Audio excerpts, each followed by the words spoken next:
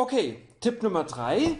Wir schauen uns mal die Primfaktorzerlegungen an, der Nenner von äh, verschiedenen Brüchen. Ja, nehmen wir mal ein Achtel. Ein Achtel hat ja die Primfaktorzerlegung, der Nenner hat die Primfaktorzerlegung 2 hoch 3. Ne?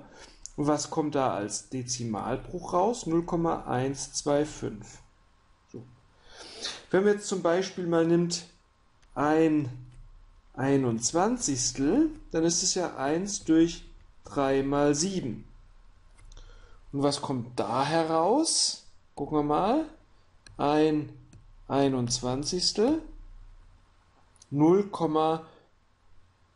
oh, 047619, 047619, 047619, okay. 0, 0,047169. Gucke ich nochmal, ob ich es richtig gemacht habe. Das müsste ich immer wiederholen. 0,0476 Oh, 619.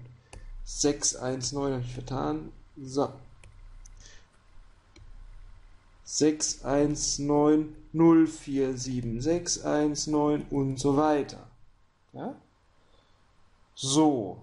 Nehmen wir mal ein Fünftel. Ne? Da kommt ja raus äh, okay, das ist 1 durch 5 hoch 1 in der Primfaktorzerlegung und das ist 0,2.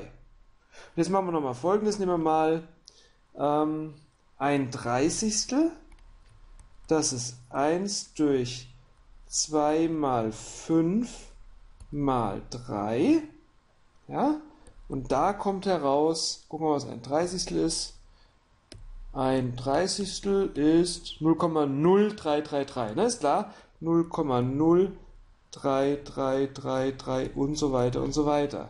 Hm. Okay, das ist klar, ne? von einem Drittel mit 0,3 kommt man auf ein Dreißigstel, indem man durch 10 dividiert, das heißt den Dezimalbruch um 1 nach rechts verschiebt. Aha, also durch Multiplikation mit 10 im Nenner scheint es um 1 nach rechts zu verschieben.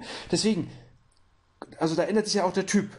Ja, insofern schaut doch mal auf die euch die Primfaktorzerlegung des Nenners genau an und welche Zahlen bei welchen Typen tatsächlich vorkommen ne? und welche Auswirkungen